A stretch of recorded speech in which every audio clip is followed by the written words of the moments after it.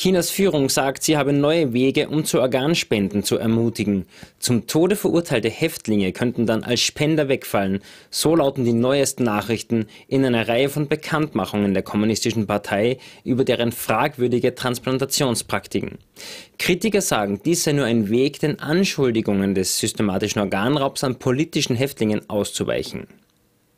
In China sieht die Zahl freiwilliger Organspenden mager aus, denn die Tradition verlangt die Unversehrtheit des Körpers nach dem Tod. Laut offiziellen Angaben versucht die chinesische Gesundheitsbehörde nun die Bevölkerung durch finanzielle Anreize zum Organspenden zu animieren.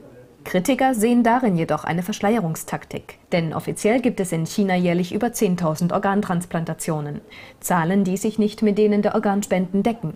Und dann steht da noch die Anschuldigung über den Organraub an politisch Gefangenen im Raum. Was Sie jetzt machen, ist vertuschen. Sie möchten einige Methoden nehmen, die die Öffentlichkeit mehr akzeptieren kann, um die undenkbaren Taten, die Sie die ganze Zeit begehen, zu verdecken.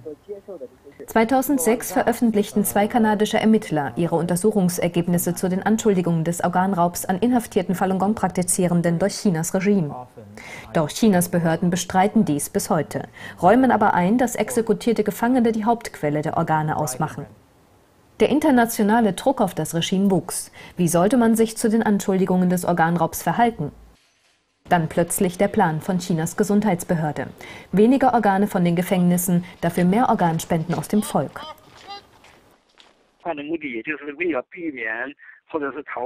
Sie wollen vermeiden, die Verbrechen der Organentnahme an lebenden Falun Gong-Praktizierenden anzusprechen.